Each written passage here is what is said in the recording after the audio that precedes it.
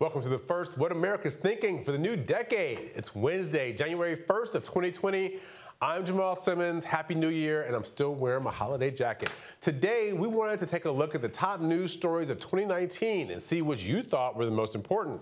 It's been a big year in news, to say the least. We had the longest government shutdown in U.S. history and an ongoing trade war with China, the death of ISIS leader al Baghdadi, the Democratic primary election, and of course, impeachment. So we wanted to know what you think. We asked what was the most important political news story of 2019.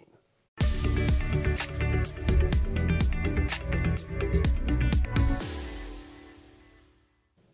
We found that the impeachment inquiry targeting President Trump topped the list of 2019's most important news stories. 37% of you thought so. Who said Americans didn't care about impeachment? Next is the U.S. Mexico border situation at 15%. The Mueller report came in at 13%. The government shutdown, the U.S. trade war with China, and the death of ISIS leader al Baghdadi, they all tied at 8%. Now, this is interesting. Only 5% of people thought the Democratic primary election was the most important story of the year and athletes refusing to visit the White House only got 2% support. 4% said something else altogether. Let's take a look at party lines. While a plurality of all partisans chose impeachment as the most important news story of 2019, 45% of Democrats were more likely to say so. That's compared to 32% of GOP voters and 34% of independents.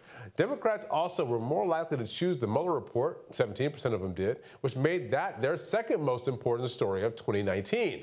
For GOP and independent voters, the second most important story the situation at the border. 18% and 15% of them, respectively, chose that story.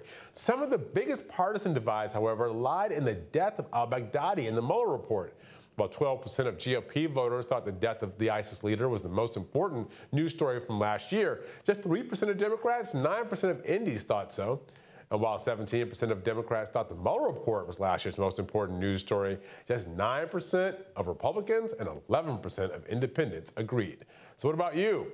What do you think was the most important news story of 2019? Was it something on this list or something we didn't talk about at all? Something else? Let us know in the comments. Is there something the Hill HarrisX poll isn't covering, but you think we ought to be taking a look at?